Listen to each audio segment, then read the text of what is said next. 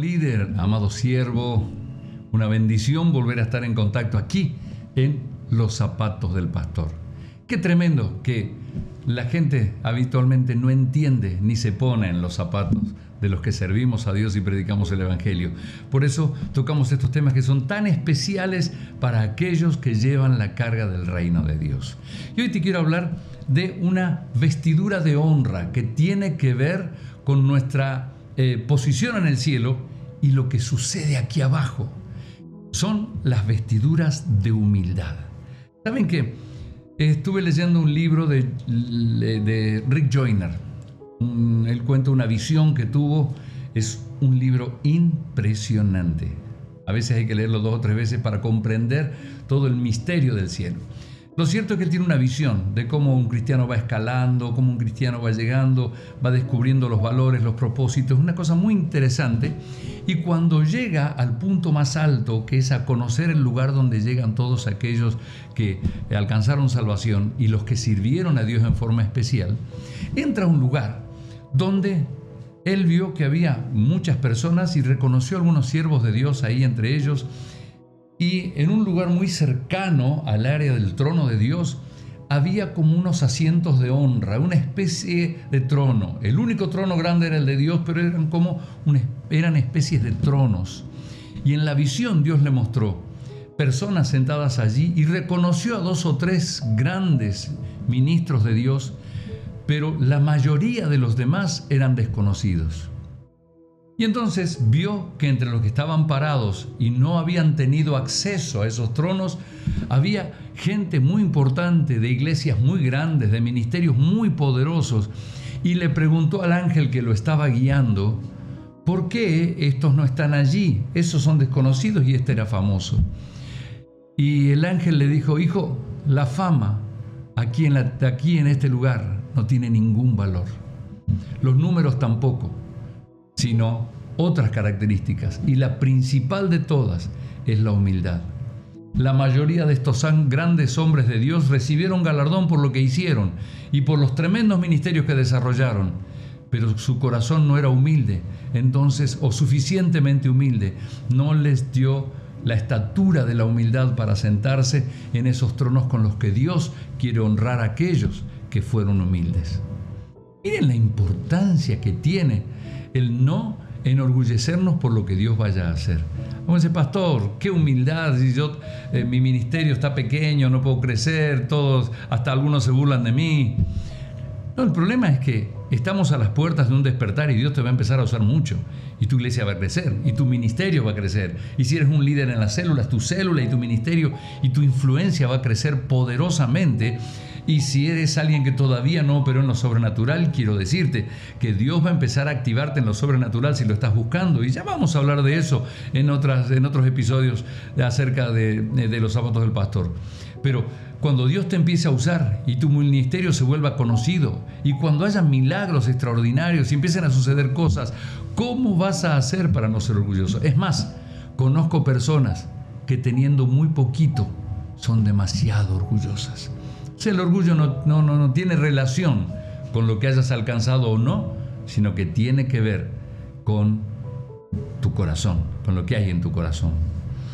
Ahora, el Señor habló de eso y nos advirtió esto. Él dice, y llamando Jesús a un niño, cuenta la historia en Mateo 18, lo puso en medio de ellos y le dijo, de cierto os digo que si no os volvéis como niños, si no os volvéis y os hacéis como niños, no entraréis en el reino de los cielos. Así que cualquiera que se humille como este niño, es el mayor en el reino de los cielos. Por eso esos ministros tenían em, los tronos, que, eh, los asientos esos especiales con lo que Dios los honraba, porque habían sido mayores que otros ministros que tenían ministerios gigantescos, pero no habían sido como niños. La humildad es un secreto, es una clave. Así que si querés ser alguien importante a los ojos de Dios mientras estás acá y cuando llegues allá, es el nivel de humildad que tengas. Ahora, ¿qué pasa si Dios empieza a usarte demasiado? Y toda la gente te dice, es tremendo, Dios me cambió la vida, le salvaste la vida a mi hijo, gracias porque recuperé mi familia, tu oración fue poderosa, me profetizaste algo y Dios respondió. ¿Cómo hacemos para que nuestro corazón, que es engañoso y perverso, no se prenda de eso y empiece a sentir un pequeño orgullito por allá? Porque una pizca de levadura va a leudar toda la masa en algún momento. Para eso Dios nos da una enseñanza fuerte que te la quiero compartir y que te puede ayudar a tener un corazón humilde, aunque Dios te dé un ministerio de cientos, de cientos y miles de personas, de cientos de miles de personas, un, ministerio que administre millones de dólares, un ministerio que tenga todos los medios de comunicación de la tierra, aunque Dios haga todo eso, si haces esto que Dios enseñó, siempre vas a estar con un corazón dependiente de Dios y el orgullo nunca va a entrar tu corazón será humilde. En algún momento los discípulos están hablando con el Señor y le piden que les aumente la fe. Si les aumenta la fe, van a empezar a ver cosas mayores.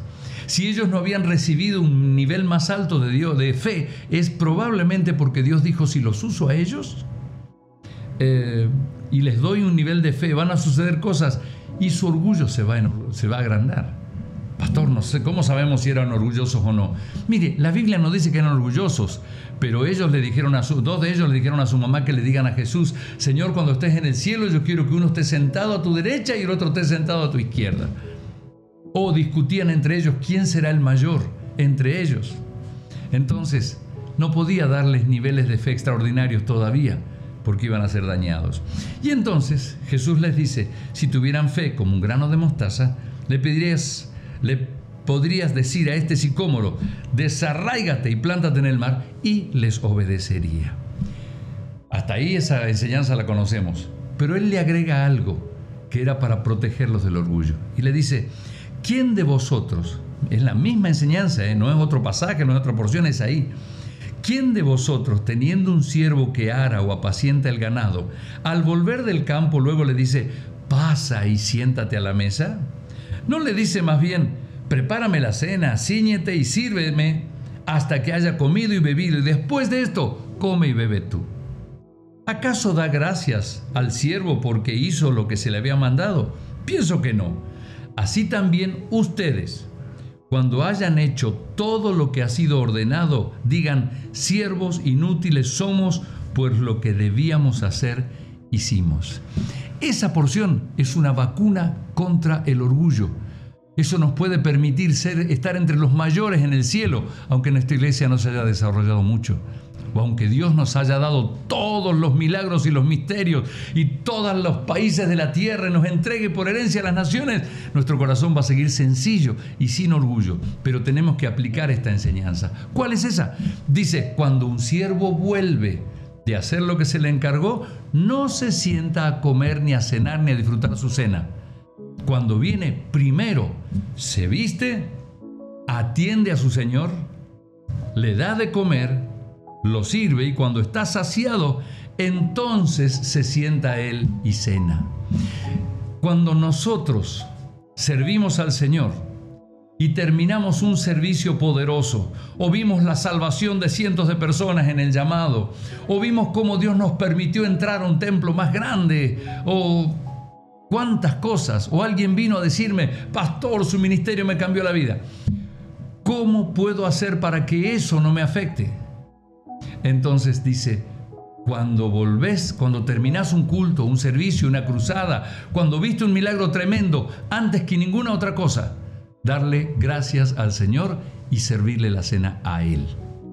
A mí me pasó que terminábamos cultos tremendos, con milagros, con crecimiento, y después decía, pastor, qué tremendo culto. Sí, sí, sí, pero eso es de Dios.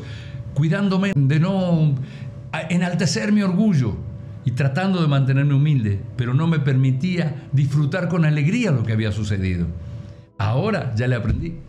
Ahora tenemos unos cultos de gloria, hemos llenado estadios, hemos visto muchas sillas de ruedas liberadas en, un mismo, en una misma cruzada, en el culto que tuvimos hace dos o tres semanas, sillas de ruedas y muletas y todo. Eh, multiplicamos el crecimiento de la iglesia, tuvimos el culto más, más numeroso que el domingo más numeroso que hayamos tenido en la historia de la iglesia hace dos semanas, porque entramos en una nueva etapa de crecimiento. No importa lo que pase, cuando termina el servicio, antes de abrir mi boca para nada, o me encierro en el auto, o me encierro en el baño del estadio, o me encierro en la oficina con mi esposa y decimos, Señor, todo lo que sucedió es tuyo. Nada de lo que pasó es mío. Soy solo un siervo inútil que obedeció a hacer aquello que mandaste hacer. La gloria y la honra es para ti. Y se la entrego y lo adoro un minuto, dos minutos, tres minutos le entrego. Y después sí, güey, Qué tremendo servicio que tuvimos. Muchachos, vengan, qué cultazo tuvimos. Los felicito por la cantidad de congregados. Qué bendición para ustedes. y lo disfrutamos y festejamos y hacemos una, carne asada y, y, y hacemos una fiesta. Pero no nos enorgullecemos porque primero le hemos dado la gloria a Dios. Así que te animo a que practiques este versículo, porque entonces Dios va a hacer lo que le dijo a los discípulos, va a aumentar tu fe. Y cuando aumente tu fe, va a aumentar el nivel de milagros, va a aumentar tu, nivel en la economía del ministerio, tu, economía personal, van a empezar a suceder este, em, milagros que no, no, no te imaginabas, vas a empezar a ver un crecimiento extraordinario de personas vas a conquistar nuevos territorios, quién sabe, nuevas iglesias, hasta donde puedas ver, hasta donde puedas soñar, te lo voy a dar.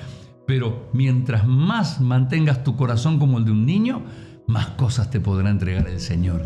Este es el nuevo tiempo de la iglesia de pastores que van a llegar a cosas gigantes y nunca se la van a creer.